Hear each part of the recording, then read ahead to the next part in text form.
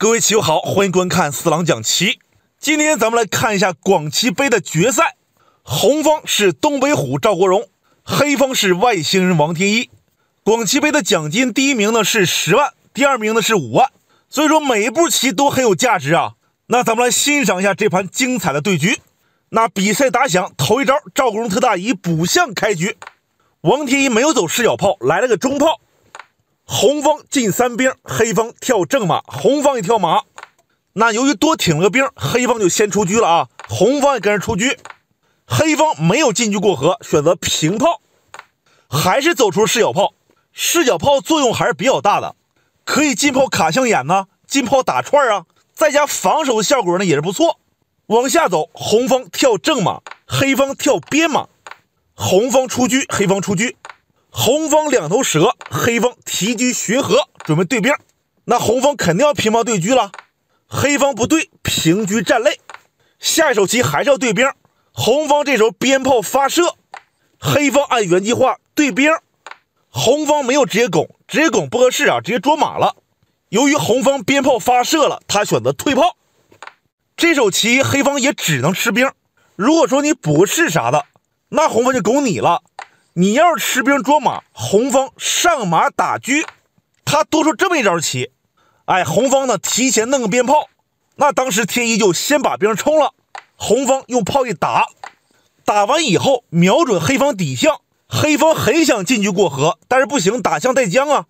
而且黑方如果不动车的话，红方有重炮打车的棋，但是王天一还是没有理啊，就补个士。红方重炮打车，黑方一躲。这时候红方又来了个学和车，这手棋呢就准备上马登车了。王天一此时把中炮拆开，现在是双视角炮，这里红方就不敢上马踩车了。你再踩，黑方可以捉你。如果黑方没有视角炮，红方可以进兵来保，但是现在不行，直接给你打了。哎，这个视角炮呢是有作用的啊。实战赵国荣特大就把这个顺序变了一下，先冲兵拱车。现在问一下黑方，你用什么吃？如果你用卒吃，那红方还是上马踩车。你要是平车捉马，红方有个平炮打车的棋，因为红方先把这个兵送了，这个马之前就有跟了，这样走黑方肯定是不合适啊。实战黑方没用卒冲，用车吃的兵，这是正手，吃掉以后捉着红方的马，他往上跳，跳上去以后黑方肯定不敢捉马，不然红方上马踩车了。这样走的话，黑方这个车没什么好点了，哎，肯定是不行。实战王天一来了一手退底炮，这手棋我估计他准备补象，然后往右平两步跟红方对炮，应该是这么回事那红方这边没管，往上跳马，黑方补象，下一手棋准备对炮了。那红方就先把中卒一踩，现在对着马，黑方简单换掉，红方一踩，折腾完以后，现在还踩着黑方的车。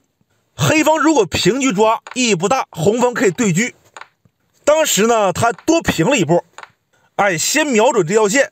下一手棋没准黑方还会把这个底炮往右平两步，跟红方对炮。因为平炮跟红方换子儿的话，最终呢，黑方会拉住无根车炮。实战赵公特大就平了一步车。现在黑方如果换呢，就意义不大了。当时他是退车捉马，红方往回一跳，黑方进了个卒。现在红方呢也没什么手段啊，先补个士。现在轮到黑方行棋，接下来就看出王天一的功力了啊。首先他往回跳马，哎，在自己家里调整阵型。红方提车要巡河，黑方往上一跳，这手棋可要看好了，这是个打死车的手段啊。咱们可以演示一招，比如说还是轮到黑方走，黑方不会直接打车的，你打车红方会垫马。你这棋也弄不死，那怎么打死车呢？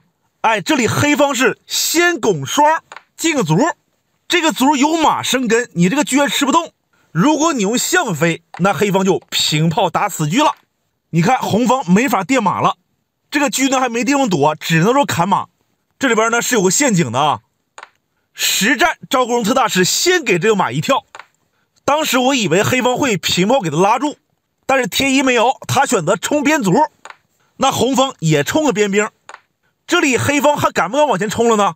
其实不太敢，因为你要是这样走，红方白拱啊，你不敢吃啊，红方下底炮抽车的棋，这里边有这么个手段。那黑方冲边卒啥意思呢？可能一会儿要起霸王车，或者说等一等，一会儿再冲边卒。当时贴一是往上跳马，有可能要踩中兵，那红方就先平车做招，黑方进车准备强踩，那红方一看这个兵保不住了，他就进了一步车，黑方把兵踩掉，红方双车夺马。但是没事黑方平车捉双，那现在就是交换了啊！红方吃个马，黑方吃个炮，但是吃炮的时候有讲究，红方只能吃顶上那个。如果说你吃这个，那红方架中炮了，这棋呢红方就有点攻势了，所以说必须吃顶上那个。吃完以后还捉着炮，红方把炮一平，这时候黑方平车杀边兵，哎，先谋取实惠啊！天一呢也长记性了。因为之前碧桂园杯的时候啊，当时天一就是心慈手软，没有把这个兵放在眼里，最后让蒋川在残局的时候多兵拿下了。这个兵的力量不能小视啊！咱们接着往下看，现在轮到红方了啊！红方回马踩车，黑方平车站肋，红方又对车。王天一当时没对，他把车一退，红方再来对车，这时候他对车了，不过呢，他把边路这个车杀出来。红方把右边这个一做，黑方一吃，下一手棋呢可以往前冲卒了。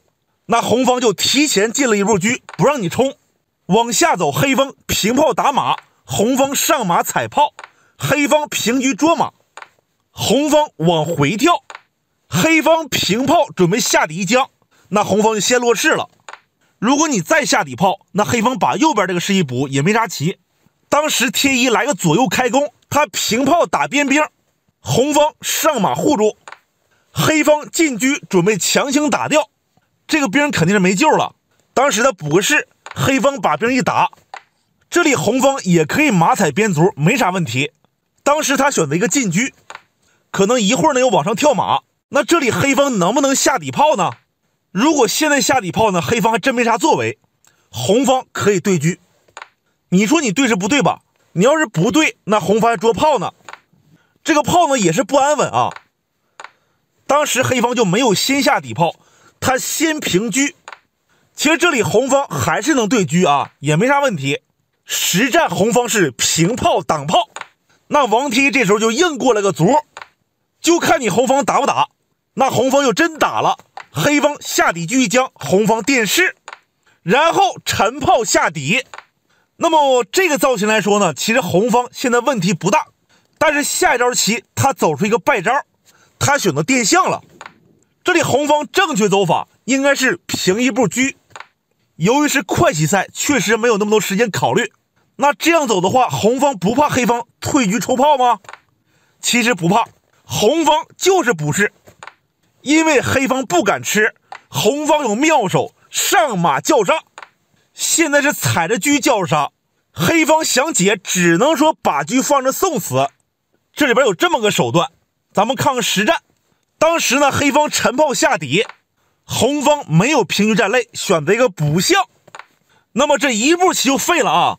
接下来王天一车砍底象，现在捉着红方的马，即使你补象，那黑方也是吃马呀，用炮将呢。哎，这样走肯定是不对。那红方只好往上一跳，而且挡住了红方的车，防止这个车被抽。但是你能挡住车，你挡不住炮啊！接下来王天一退车抽炮，一招毙命。行棋至此，赵国荣特大就认输了。哎，这个炮子就白丢了。哎，那有人说不对呀，红方不是有杀棋吗？咱们接着演示几招。现在是用炮将，红方一补士，黑方给炮一吃。红方即使卧槽将，黑方出将啊。你平车将，黑方可以电视。哎，王天一攻不忘手，他一直在家里埋伏一个炮，那这个棋不就白丢一子吗？而且多个卒，况且来说，红方已经不是士象权了，这盘棋呢就拿下了，恭喜王特大再次登顶，十万奖金收入囊中。这盘棋呢就讲到这儿吧，感谢棋友们的观看，咱们下期再会。